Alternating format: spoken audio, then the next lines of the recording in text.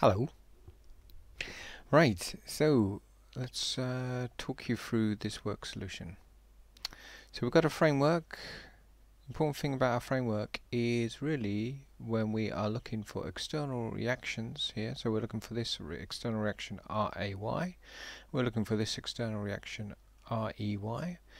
Um, and when you've got a problem like this, the essentially speaking is ignore the framework look for your forces and then bring your forces back down so they either hit a horizontal x-axis or a vertical y-axis. Uh, for this case it's nice and simple. We've got a force here line and we've got to track its line of action so it hits something. And it's going to hit roughly here isn't it? So this is the uh, the point where um, uh, it will hit the y-axis. So that will move into, uh, we're going to imagine that we're moving that force and we're going to move it so it hits there. This one's already on the x-axis so we don't have to move it any. Okay, so let's, uh, let's carry on with our solution. So the first thing we're going to do with our solution is to sum up our forces in the x direction. So unlike our previous beam problems, this is actually uh, a bit more interesting. So let's go back to our framework and we see that we do have this force here. Uh, we've hinged it over here at this location so we've got a reaction force going off in that direction to the right and then we've got this uh, this external force going off to the left. So we do have some forces to play with this time. So I've got a minus 50 so that's this force here.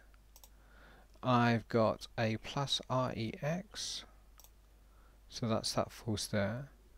And um, nothing else. So I can rewrite this as REX equals 50 kilonewtons. So I've solved my first equation. Now let's uh, solve the forces in the y direction. So what can we see in the y direction? Well, we've got uh, this one going in the y direction, going upwards, this one going in the y direction, going downwards, this one here going in the y direction, going upwards.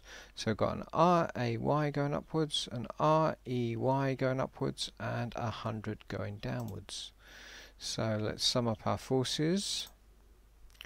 So we're going to put the RAY going upwards, the REY going upwards, and the 100 going downwards. Let's rearrange that so we have the unknowns on the left and the known on the right. And we'll write this as equation 1.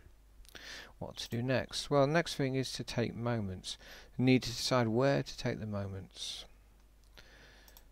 So, uh, this particular example has decided to take the moments at at point A.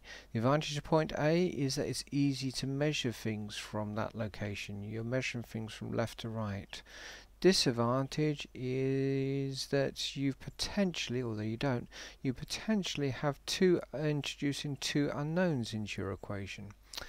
In this particular case we're not going to have two unknowns because you notice that when we take moments our uh, going along here we hit this force here and it was going in the parallel direction to the direction of distance. So therefore this is not going to create a moment for us. So we're lucky.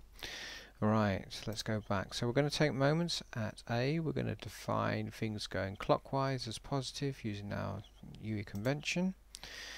And then we will find our forces and times them by the distances for where they've hit the, their particular axis and work out what kind of moment they've got. So apparently I've got three moments here, so let's look at my diagram, see if that's true. So first one I can see is I'm going to take this 50, take it back to the y-axis here. It's going to have a distance of what, 4 meters to get from there to there it's going to go anti-clockwise because this arrow is pointing in this direction so it's going anti-clockwise. So we've got minus 50 times 4 so that's the first one.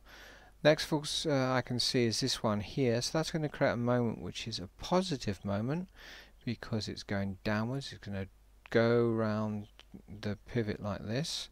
Okay so that's a hundred uh, going downwards it's a distance of 3 away from the pivot. So we've got 100 times 3 so that's a, that's a positive 100 times 3 and the last force I can see that is got a perpendicular distance this one here. I've already described how this one doesn't create a moment. So this one here has got 3 6 9 12 it's 12 away from that pivot. And it also will be creating a negative clockwise turning moment. So that's where we're going to get the those three forces from. So minus 50 times 4, um, minus RE times 12, so they're my negative moments, and then I've got a positive one of 100 times 3. Let's rearrange that so we get the unknowns on the left, the knowns on the right, rearrange that and we find that REY equals 8.33 kilonewtons substitute it back into your equation 1 and then we're going to find out what RAY is. So substitute it back into this equation we're going to take the 100 take away the 8.33 job done. We got uh, RAY is 91.67 kilonewtons Final thing to do is just to uh, label up your diagram. So we've uh, now got a nice free body diagram that we're working with here where we've got the external forces here, the 50 and the 100 and we've got these reaction forces here from the hinge here and uh, from our pivot here. Okay, job done. Yeah, happy?